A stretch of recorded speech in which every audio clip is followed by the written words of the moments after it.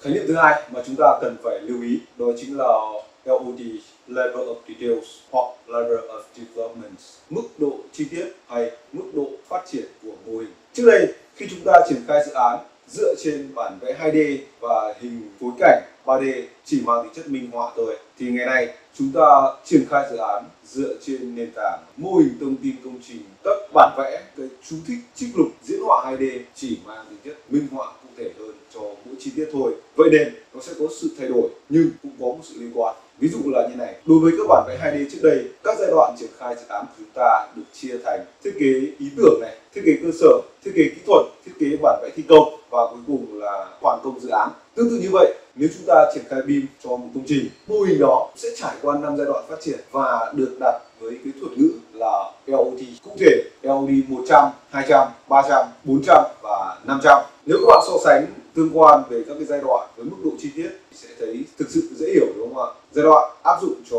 bản vẽ 2D là chủ đạo, còn LOD áp dụng cho hồ sơ dự án BIM làm chủ đạo. Ngược dòng lịch sử, mức độ chi tiết LOD đầu tiên do Viện Kiến trúc Hoa Kỳ AI ban hành. Và các bạn lưu ý, vì là kiến trúc người ta phát triển nên người ta sẽ ưu tiên đến những cái sản phẩm đã hoàn chỉnh, bàn giao cho chủ đầu tư. Kể từ sau năm 2016 có một hệ thống thứ hai cũng quy định về mức độ chi tiết này và cụ thể hơn đó chính là BIM Forum CSI do cái hiệp hội tổng thầu của Hoa Kỳ sau một thời gian thực thi dự án người ta đúc kết thành. Và các bạn ý trong tài liệu BIM Forum mà các bạn cầm được trên tay ấy, các bạn ý thấy nó cũng có 5 mức chi tiết. Tuy nhiên không có mức 100 mà lại phát sinh ra mức 350 lý do là như này tổng thầu thi công rất quan tâm đến cái giai đoạn làm thế nào để xây dựng được cái hạng mục công trình đó đảm bảo an toàn và tuân thủ đúng các cái tiêu chí kỹ thuật của dự án. Cái mức độ chi tiết của mô hình của họ sẽ phải cao hơn thiết kế là LOD 300 nhưng thấp hơn cái mức độ cấp cái sản phẩm của nhà cung cấp đưa cho chủ đầu tư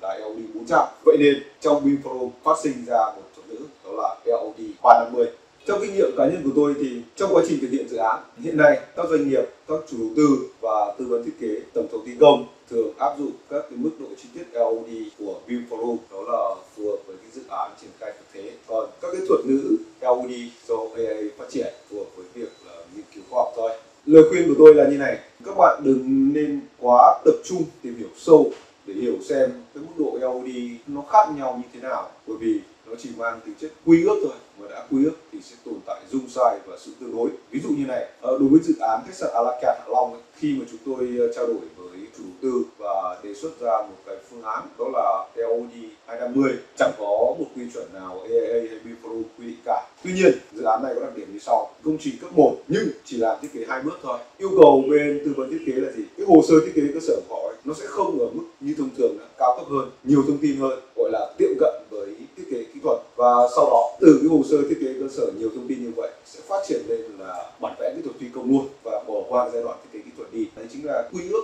giữa các bên tham gia chủ đầu tư này tư vấn này Việt Nam và tổng thầu là thỏa thuận ra một khái niệm LOD 250 vậy thì các bạn lưu ý nhé đừng dành thời gian tranh cãi cho cái việc 100, 200, 300 hay 350 làm gì cả. Và chúng ta hãy hiểu được cái hàm ý thuật ngữ này nó mang lại là gì. Rất có thể phát sinh à, ra 250 hoặc 450 theo như các bạn tùy đặt miễn là những bên tham gia dự án hiểu đúng về nó là được. Đó là những nội dung tôi chia sẻ với các bạn khi chúng ta tiếp cận tài liệu liên quan đến